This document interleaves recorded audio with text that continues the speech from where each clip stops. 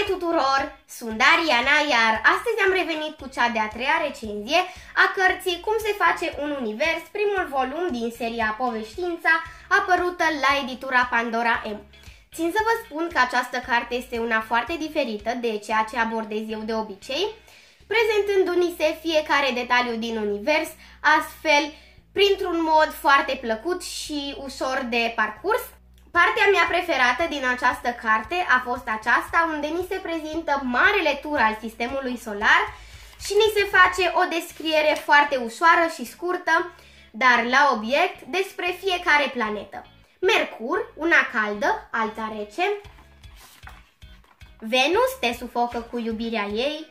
Pământul, oaza noastră de liniște. Luna, prietena noastră de o viață.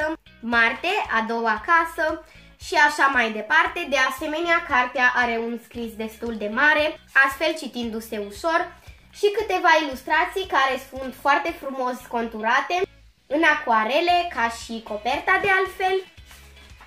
Aceasta fiind preferata mea, una destul de ciudată. La sfârșit avem și câteva pagini, ca și un carnețel, ce mi-a plăcut cel mai mult din această povestință. Eu am spus ce mi-a plăcut marele tur al sistemului solar și cu siguranță o să completez și eu aici.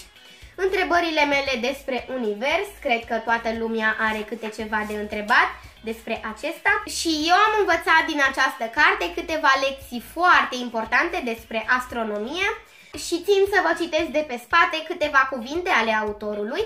Fiind captivat de mic copil de univers, am vrut să ți-l prezint și să ți-l explic așa cum îl văd eu. De la Big Bang și viețile stelelor, până la suișurile și coborâșurile explorării spațiale, am strâns cu entuziasm niște povești numai bune de răsfoit.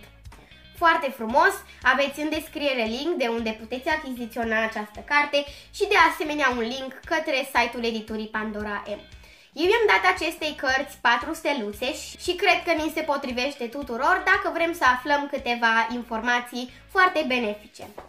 Cam acesta a fost videoclipul de astăzi, sper că v-a plăcut, nu uitați să-i dați un like și să vă abonați la canalul meu. Noi ne revedem într-o altă zi, la revedere!